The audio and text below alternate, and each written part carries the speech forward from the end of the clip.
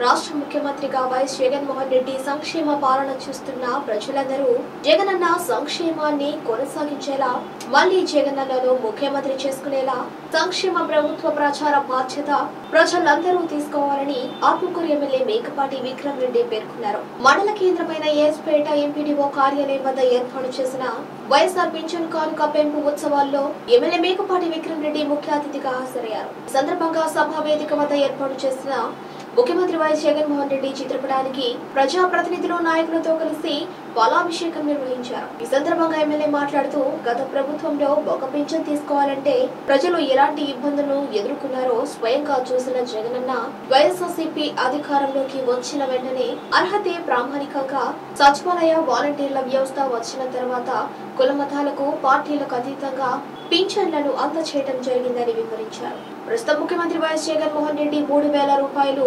పింఛన్ను అందిస్తుండటంతో వారికి ఆర్థిక భరోసాను అందిస్తుందని అన్నారు. గడప గడపకు మన ప్రభుత్వం కార్యక్రమంలో భాగంగా నియోజకవర్గంలో విస్తృత పర్యటన చేసిన నేపథ్యంలో పింఛన్ వల్ల లబ్ధి పొందుతున్న వృద్ధులను దివ్యాంగులను చూడటం జరిగిందని సామాజిక పింఛన్ వారిని ఏ విధంగా ఆదుకుంటుందో తెలుసుకుందామని అన్నారు. కోరుకుంటున్నాను. జై జగన్! జై జగన్!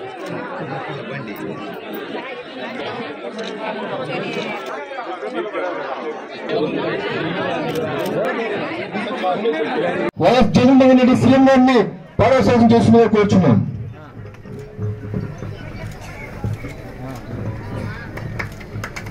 చెప్పలేదు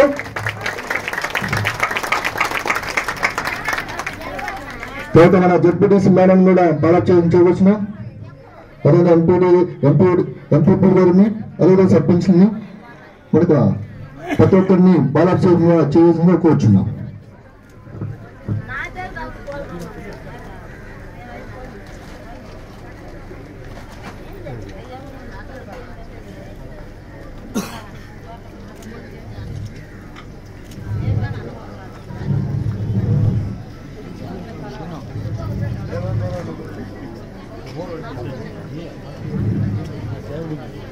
కోర్షన్ మెంబర్ గారిని సందని బస్సాన్ని కూడా సన్మానిస్తున్నాము. ఆహ్వానించి ఉత్తిగా పాలాభిషేకం చేయవచ్చుగా కోరుచున్నాం. అదేవిధంగా గృహ సారథుల్ని రమేష్ రెడ్డి గారిని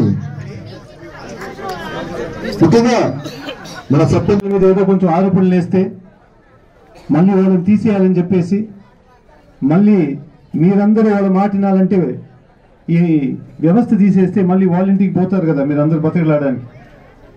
అందుకు వాలంటీర్లు వాళ్ళ ఊర్లో మహిళల్ని మాయం చేస్తున్నారంట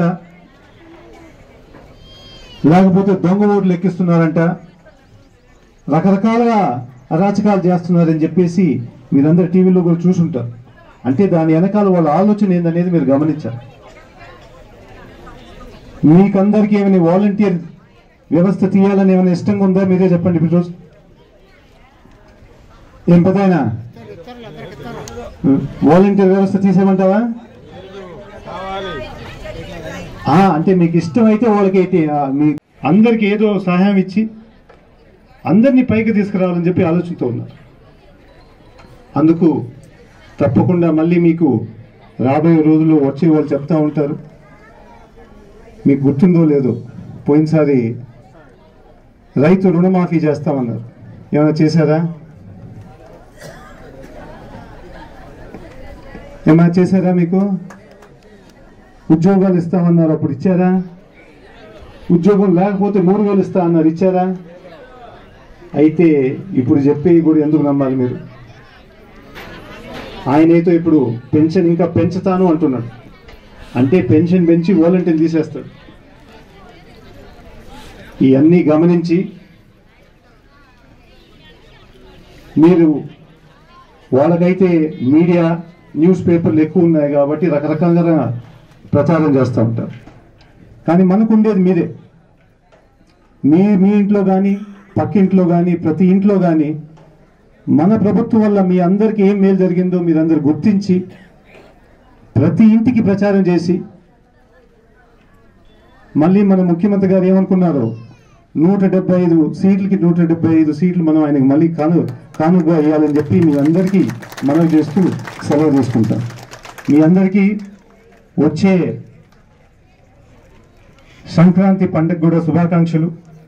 మీరందరూ సంతోషంగా ఉండాలని ఇదే విధంగా సుఖంగా ఉండాలని చెప్పేసి మీరందరూ ఎదిగేటట్టు ఈ ప్రభుత్వాన్ని ఇంకా సహాయం చేయాలని చెప్పి కోరుతూ సెలవు తీసుకుంటాం. మళ్ళీ ప్రజలకే ఉండాలని చెప్పేసి మళ్ళీ ఈ విధంగా ఇబ్బందులు పడకూడదని చెప్పేసి ముఖ్యంగా మన అవ్వాతాతలకి వాలంటీర్ అనే వ్యవస్థ తీసుకొచ్చారు. ప్రతి గ్రామంలో ఒక సచివాలయం పెట్టి ప్రతి యాభై కుటుంబాలకు ఒక వాలంటీర్ పెట్టి మీరెక్కడ మళ్ళీ అడుక్కునే వ్యవస్థ లేకుండా మీ ఇంటికి తీసుకొచ్చేసి మీ హక్కు మీ చేతిలో పెట్టి ఎవరికి అర్హత ఉందో వాళ్ళందరికీ పెన్షన్ రావాలని మళ్ళీ కులం కాదు పార్టీ కాదు మిగతా అన్ని పక్కన పెట్టి ఒక ఆరు కండిషన్లు పెట్టి ఎవరికి అర్హత ఉందో వాళ్ళకి తప్పకుండా పెన్షన్ పోవాలని చెప్పి ఒక వ్యవస్థ తీసుకొచ్చారు. దాదాపు ఇప్పుడు మీరు చూస్తే గత ప్రభుత్వంలో ఇరవై ఐదు లక్షల పెన్షన్లు ఇస్తే ఈ ప్రభుత్వంలో ఈ రోజు అరవై ఆరు లక్షల మందికి పెన్షన్ వస్తుంది.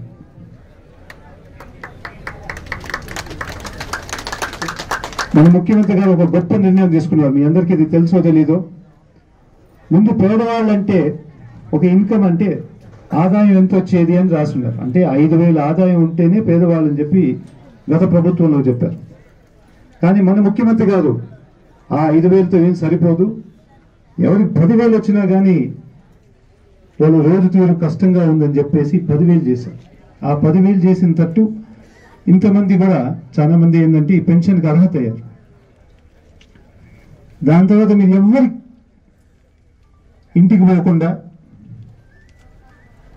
టెక్నాలజీ పెట్టి ఒక సెల్ ఫోన్లోనే అన్ని వ్యవస్థ తీసుకొచ్చేసి మీ అందరికీ ప్రతిరోజు ప్రతి నెల ఒకటో తేదీ పెన్షన్ వచ్చేటట్టు మన ముఖ్యమంత్రి గారు తీసుకొచ్చారు. ఎందుకంటే దాదాపు నాలుగు సంవత్సరాల నుంచి జరుగుతుంది కాబట్టి కొంచెం గతం మర్చిపోవడానికి అవకాశం ఉంది. ఇదంతా చూసి మళ్ళీ టీడీపీ నాయకులందరూ దిగారు. మీరు గమనిస్తుంటే దాదాపు ఒక సంవత్సరం నుంచి ముందుగా మీ అందరికీ మళ్ళీ ఈ వ్యవస్థ తీస్తేనే మీరు వాళ్ళ మాట వింటారని చెప్పి వాలంటీర్ల మీద పడ్డారు.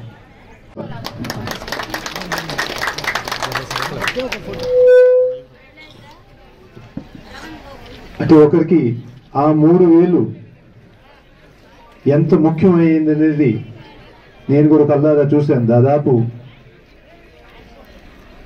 ప్రతి ఇంటికి తిరిగి మా ముఖ్యమంత్రి గారు ఒక గడప గడప కార్యక్రమం పెట్టిన తర్వాత మీ అందరి ఇంటికి వచ్చిన అవకాశం కూడా కలిగించిన తర్వాత ఈ పెన్షన్ అనేది ఈ కార్యక్రమం వల్ల ప్రతి ఇంట్లో ఎందుకు ముఖ్యం అనేది మనకు కూడా అవగాహన వచ్చింది.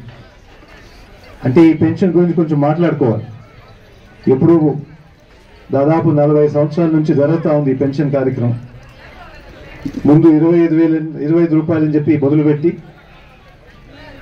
దాని తర్వాత కొన్ని మంది పంచాయతీలో ఒక పది మందికి ఇద్దామని చెప్పి ఆలోచనతో వాళ్ళ ఇష్టమైన వాళ్ళకే ఆ పెన్షన్ ఇస్తూ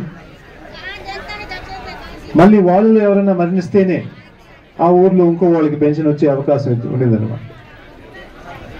ఆ విధంగా జరుగుతూ మళ్ళీ గత ప్రభుత్వం ఏ- ప్రభుత్వం ఏం చేసిందో మీ అందరికీ తెలుసు. ఈ పెన్షన్ అనే కార్యక్రమం రాజకీయంగా మార్చుకున్నారు. వాళ్ళు ఒక కమిటీ తయారు చేసి వాళ్ళ నాయకులతో ప్రతి ఊర్లో వాళ్ళకి నచ్చితే లేకపోతే రేపేమైనా వాళ్ళ ఇంట్లో పని చేస్తే వాళ్ళ కాలు ఒత్తితే వాళ్ళ జెండా మోస్తే ఇవన్నీ కార్యక్రమాలు చేస్తే అప్పుడు మీకు ఏమైనా పెన్షన్ వచ్చే అవకాశం? అది కూడా నమ్మకం లేదు. మీరందరూ గుర్తు చేసుకోవాలి ఒక ఐదు సంవత్సరాల ముందు మీరందరూ లైన్లు కట్టేవాళ్ళు. ఎవరో ఒక నాయకుల ఇంటికి లేకపోతే ఏదో ఆఫీస్కి కానీ ఆ పచ్చ జెండా ఆఫీస్ కానీ అవన్నీ చూస్తూ దాదాపు ప్రతి గ్రామాల్లో ఇబ్బందులు ఏం పడ్డారో ప్రజలన్నీ మన ముఖ్యమంత్రి గారు గమనించారు. ప్రజలందరికీ మూడు వేలు పెన్షన్ ఇవ్వడం ఇంత మంచి అవకాశం కలిగించిన మన సీఎం గారికి ధన్యవాదాలు చెప్పాలి. నాలుగు సంవత్సరాల ముందర ఏం మాట ఇచ్చారు? ప్రజలకి ఏ విధంగా మేలు చేస్తారనేది మన పెద్దలు అవాతాతలు కానీ వికలాంగులు కానీ మిగతా పెన్షన్ లబ్ధిదారులు కానీ వాళ్ళ కష్టాలన్నీ చూసి గత ప్రభుత్వంలో ఏ విధంగా ఇబ్బంది పడ్డారు? అవన్నీ తీసేసి వాళ్ళకి ఎక్కడ ఏమి ఇబ్బంది లేకుండా ప్రతి నెల ఫస్ట్ వాళ్ళ ఇంటి ఇంటి దగ్గరికి పోయి పెన్షన్ అందేటట్టు వ్యవస్థ తీసుకొచ్చిన తర్వాత ప్రతి సంవత్సరం ఒక రెండు వందల యాభై రూపాయలు పెంచుతూ ఈ ఇయర్లో కూడా ఇప్పుడు రెండు వందల యాభై రూపాయలు పెంచి మూడు వేల పెన్షన్ తీసుకొచ్చిన ఘనత మన ముఖ్యమంత్రి గారు. ప్రజలందరూ గమనించారు. దాదాపు అరవై ఆరు లక్షల మంది ఏ ఒక్క ఇంటికి పోయి అడుక్కోకుండా ఎవరికేం పని చేయకుండా ఎవరికేం సలాం కొట్టకుండా వాళ్ళ ఇంట్లోనే డైరెక్ట్గా పెన్షన్ వస్తుంది కాబట్టి ఆ హక్కు వాళ్ళ చేతిలో పెట్టారు కాబట్టి మన ముఖ్యమంత్రి గారికి రుణపడి తప్పకుండా వచ్చే ఎలక్షన్లో ఆయన అనుకున్నట్టు నూట డెబ్బై ఐదు సీట్లు గెలిపించి మన ముఖ్యమంత్రి గారిని మళ్ళీ మోస్ట్ రెస్పెక్టెడ్ చీఫ్ మినిస్టర్ చేస్తారని చెప్పి నేను భావిస్తున్నాను.